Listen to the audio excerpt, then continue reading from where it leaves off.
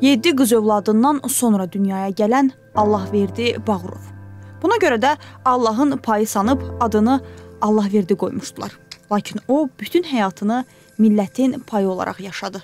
1988-ci ildə Ağdamda ilk müdafiə dəstələri formalaşmağa başlayanda da belə idi. 91-ci ildə Milli Ordunun ilk hissələri yaradılmağa başlayanda da. Həmin ilin oktyabr ayında Ağdamdakı hərbi hissələr Şirin Mirzəyevin, Yaqub Rızayevin və Allahverdi Bağırovun komandirliyi altında yaradıldı. Əvvəlcə yararsız ov tüfəngləri ilə silahlanan könüllülər az sonra Qarabağın müdafiəçilərinə çevrildilər. Xocalı faciəsi zamanı Allahverdi Bağırov 1003 nəfəri əsirlikdən sağaldı. Bu qədər adama həyat vermək nə demək idi? Ermənilərlə danışıqlar aparmaq, oradan meyitləri çıxarmaq, əsirləri xilas etmək.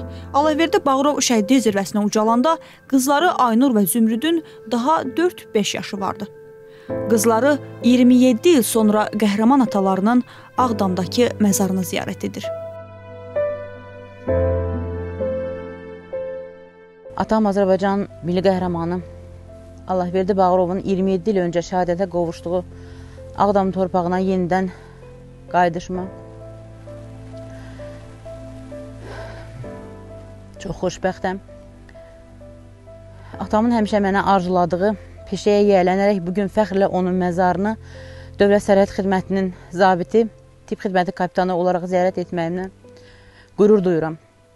Bu qələbə sevincini bizə yaşatdığı üçün Ali Baş Komandanımıza, Azərbaycan Respublikasının prezidenti cənab İlham Əliyevə və Müzəffər Azərbaycan ordusuna minnətdarlığımı bildirirəm. Əminəm ki, bugün 27 ildən sonra işğaldan azad olunmuş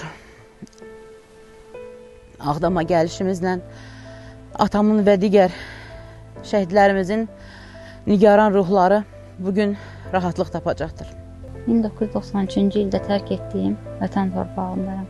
Sonuncu dəfə 6 yaşında ziyarət elədiyim atamın məzarının önündəyəm. Qürur verici hissdir ki, mən atamın yolunu davam elətdirərək sərhədçi zabit kimi öz torpaqlarımıza qədəm basmışıq.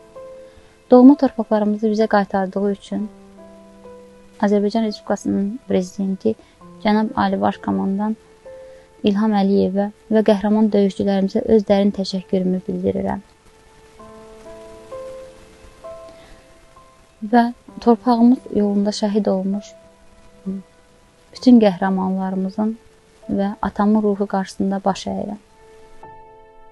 1992-ci il 12 iyun Allahverdi Bağırov şəhidlik zirvəsinə ucalır. Bir il sonra ona Milli Qəhrəman adı verilir. İllər sonra isə Ulu Öndər Heydər Əliyev Milli Qəhrəmanı Qızıl Ulduz medalı ilə təltif edir.